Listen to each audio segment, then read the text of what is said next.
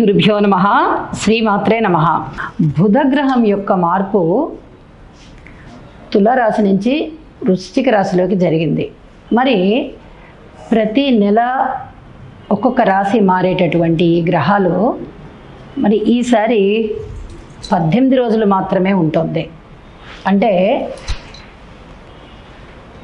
వక్రీకరిస్తూ ఉంటాయి మళ్ళీ రుజుమార్గంలోకి వస్తూ ఉంటాయి పంచాంగకర్తలు ఈ యొక్క గణితాలని స్థిరీకరించి వాటి యొక్క సంచార కాలము ఎప్పటి నుంచి ఎప్పటి వరకు ఉన్నది అని గుణించి లెక్క కడతారు. జ్యోతిష్కులు ఈ సంచార కాలంలో ఎటువంటి ఫలితాలు ఉంటాయి ఏ రాశికి ఎలాంటి ఫలితాలు ఉంటాయి అనేది తెలియజేస్తుంటారు. మామూలుగా బుధగ్రహం మారితే అంత చెప్పుకోవాల్సినంత గొప్ప విశేషం అయితే ఉండదు.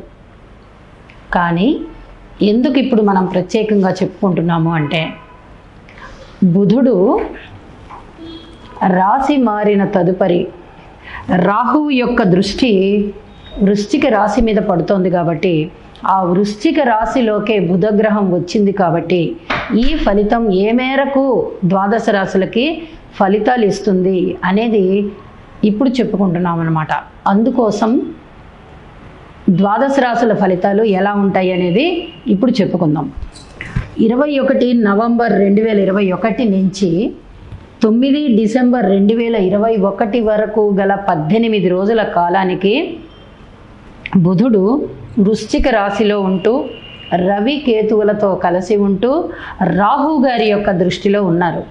మరి ఈ రకమైన ఫలితము నరాల యొక్క బలహీనతని తెలియజేస్తుంది అనారోగ్యాన్ని తెలియజేస్తుంది అలాగే వృత్తి రీత్యా ఆ స్థానం ఎవరికైతే అది వృత్తి స్థానం అవుతుందో పదవ స్థానం అవుతుందో వారికి వృత్తిలో ఆటంకాలను తెలియజేస్తుంది. అలాగే వ్యాపార రీత్యా ఆటంకాలను తెలియజేస్తుంది ఉద్యోగ రీత్యా ఆటంకాలను తెలియజేస్తుంది ఆరోగ్య రీత్యా ఆటంకాలను తెలియజేస్తుంది. బంధుమిత్రుల యొక్క నిరాదరణని తెలియజేస్తుంది అధైర్యాన్ని తెలియజేస్తుంది అధిక కోపాన్ని తెలియజేస్తుంది. ఇలా ఎన్నో రకాలైనటువంటి మైనస్ పాయింట్స్ని తెలియజేస్తుంది. బుధుడి మీద రాహు యొక్క దృష్టి పడుతోంది కాబట్టి అంత మంచి దృష్టి కలయిక కాదు అని చెప్పడం. అలాగే ఇక్కడ కేతువుతో కలిసి ఉన్నది కూడా అంత మంచిది కాదు. వారిద్దరూ కూడా వ్యతిరేకమైన గ్రహాలు. రవి గారితో అంటే రవి కొంత మిత్రత్వంతో కూడి ఉన్నారు కాబట్టి రవి బుధులు ఇద్దరు కలిసి ఉండడం అనేది బుధాదిత్య యోగం కింద చెప్పుకుంటాం కాబట్టి ఈ యోగము ఏ రాసుల వారికి ఉంటుంది అనేది తెలియ చెప్పుకుంటూ మరి ఈ రవి బుధుల యొక్క కలయిక మంచిదే అని చెప్పుకుంటున్నాము. అది బుధాదిత్య యోగం కాబట్టి అది మంచిదే. కానీ గోచారంలో అది ఎక్కువగా ఫలితాన్ని చూపించదు. జన్మ జాతకంలో మాత్రమే ఫలితాన్ని సూచిస్తుంది ఎక్కువగా. అంటే ఎవరైతే ఈ రవి బుధుల కలయిక జరిగి ఉన్నప్పుడు పుడతారో వారికి జన్మ జాతకంలో ఇదే గ్రహ స్థితులు స్ఫుటం అయిపోతాయి అప్పుడు వారికి బుధాదిత్య యోగం ఉంది అని చెప్తాము. కాబట్టి అలాంటి వారికి ఈ అనుకూలమైన స్థితి బాగుంది అని చెప్పి చెప్తాము. అంతే తప్ప గోచారంలో ఈ స్థితి వల్ల చాలా గొప్ప ప్రయోజనం ఉంటుంది అని చెప్పడం కష్టం. అలాగే ఈ బుధుని యొక్క స్థితి మీద రాహు యొక్క దృష్టి పడినందుకు చేసుకోవాల్సిన పరిహారాలు ఏమిటి? విష్ణు సహస్రనామ పారాయణ చేసుకోవడం బుధగ్రహ స్తోత్రాలు చదువుకోవడం పెసలు దానం ఇవ్వడం అలాగే దుర్గాదేవి స్తోత్రాలు చదువుకోవడం దుర్గాదేవికి సంబంధించినటువంటి పూజలు ఏవైనా చేసుకోవడం అలాగే రాహుకి సంబంధించిన స్తోత్ర పారాయణలు చేసుకోవడం నవగ్రహాల యొక్క ప్రదక్షిణాపూర్వక నమస్కారాలు చేయడం ఇత్యాదివన్నీ కూడా ఈ బుధుని మీద రాహువు యొక్క దృష్టి పడుతున్నందుకు గాను చేసుకోవలసినటువంటి పరిహారాలు.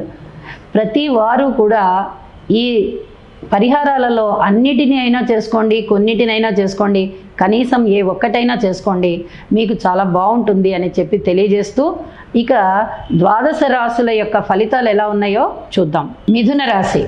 మిథున రాశి వారికి బుధగ్రహ మార్పు ఇరవై ఒకటి నవంబర్ రెండు వేల ఇరవై ఒకటి నుంచి తొమ్మిది డిసెంబర్ రెండు వేల ఇరవై ఒకటి వరకు గల కాలానికి పద్దెనిమిది రోజుల సంచారం మాత్రమే ఉంది.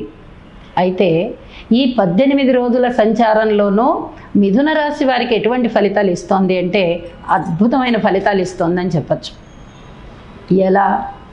రాశ్యాధిపతి చతుర్థ స్థానాధిపతి అవుతూ షష్ఠ స్థానంలో ఉన్నారు.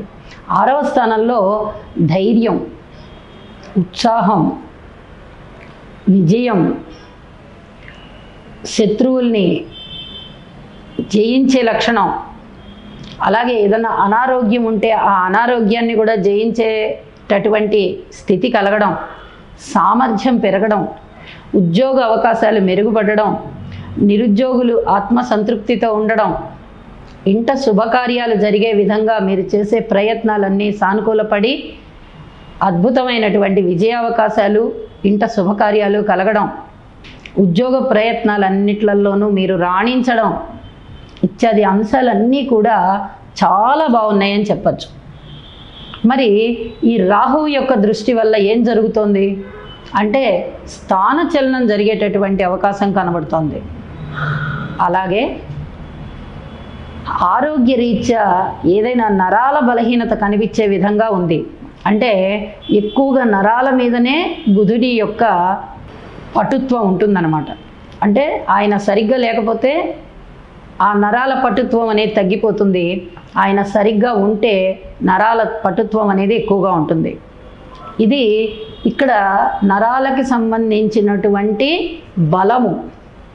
ఈయనకి ఎక్కువగా ఉన్నప్పటికీ ఈ రాహువు యొక్క దృష్టి పడడం వల్ల కొంచెం ఆ పటుత్వం తగ్గే విధంగా కనబడుతోంది. బలము కోసం మీరు డాక్టర్ సూచనల మేరకు ఏదైనా మందులు వాడితే సరిపోతుంది. అది అంత బాధించట్లేదు మన్ని. ఏదో కాస్త వీక్గా ఉంటున్నాము అనుకుంటే అప్పటికి సరి చెయ్యండి. మందులు ఏమీ వాడనవసరం లేదు. అలాగే మాతృవర్గ రీత్యా మీకు ఎన్నో రకాలైనటువంటి సహాయ సహకారాలు అనుకూలతలు ఏదైనా ఆస్తులు రావడాలు జీవితం సుఖంగా గడిచిపోతోంది అని మీరు తృప్తి పడడానికి మీ మాతృవర్గం వైపు నుంచి వచ్చేటటువంటి సహకారం మిమ్మల్ని చాలా ఆనందింపజేస్తుంది. మరి ఈ రాహువు యొక్క దృష్టి పడి కొంత డిస్టర్బెన్స్ అవుతోంది కాబట్టి ఆరవ స్థానం శత్రువులు పెరగకుండా చూసుకోండి. ఎన్ని విజయావకాశాలు ఉన్నప్పటికీ కూడా శత్రువులు పొంచి ఉంటారు.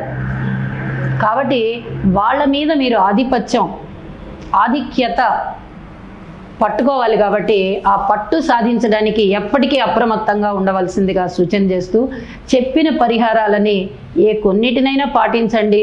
వీలైతే అన్నీ పాటించండి. అట్లీస్ట్ ఒకటైనా పాటించండి. మీకు ఈ ఆరవ స్థానంలో బుధుడు ఇచ్చేటటువంటి ఫలితాలు ఇంకా మెరుగవుతాయి అని చెప్పి తెలియజేస్తూ నమస్కారం.